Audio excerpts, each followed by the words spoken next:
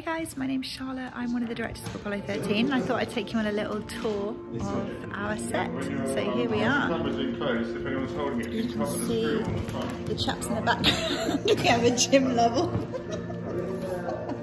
and I hoped that in writing this uh, and getting Torben to write this, we could take a well-known story um, and, you know, hear it again um, at a different point in history. We're all at a very different place than we were 20, 25 years ago. What we are hoping to do is commission a series of shows under the banner of the Age of Isolation. Yeah, the first half is uh, is uh, is partially the edited transcripts of the point up until they get to the moon. Are you? Yeah, I'm okay. My time is being and gone. Um, I think really we're sort of continuing with what we discovered when making Birdsong and trying to keep a sort of uh, sort of deliberately quite kind of low tech feel to the production. So it never feels like we're sort of trying to compete with a big Hollywood, you know, blockbuster production. Really, what we're trying to create is something much more intimate um, and something that's much more sort of actor focused and and tells the, the human story of, of what's happened. This is the crew of Apollo 13 wishing everybody there a nice evening. Uh, we're just about ready to close out our inspection of Aquarius and uh, get on back for a pleasant evening in the Odyssey. By continuing to push and ask questions of this form that we're creating, this hybrid between theatre, film, and radio, there's somewhere that sits between all of those uh, you know, we might end up creating a form that might live beyond these months. Because we have two different sets of characters, we've got the present day astronauts and we've got the astronauts at the time in 1970. We have uh, we had another studio where we filmed with cameras with it, with much more typical filming equipment than iPhones.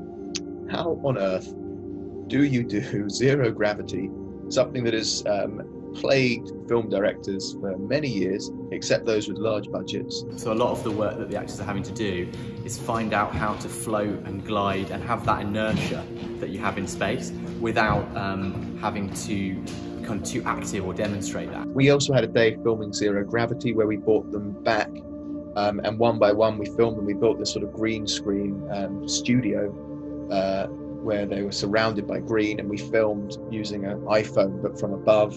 And this is what we're going to do for the, sh- the shoot. This is really, again, really badly kid framed, but this is me laying on a stool and filming from above.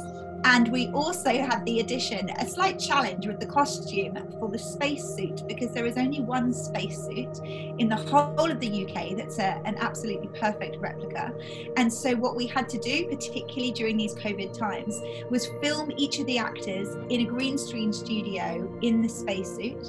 And then the spacesuit went away for three days to be sterilized before the next person could be in it. It really pushed us and our actors who were becoming one person film crews you've got to remember as in uh, they get sent their green screen they get loads of lights that we sent um, we sent them iphones uh, that had this app loaded in and they had to learn how to set up their lights how to get the green screen the distance between green screen camera and actor where the light where to light how to change those lighting settings. Uh, that's where the directors talk to me there and that's what actually does the filming and that's how I see what I'm filming, and that's my bed in the background. So um, that's how the magic happens. One of the things that's just tremendous is that what we expect from these actors, particularly the three um, younger astronauts, is that we are requiring of them not only to be really talented and brilliant actors, but to be technically minded and to make choices. We're not there. You know, we're saying to them, we'd like you to look at this angle, we'd like you to move to this perspective.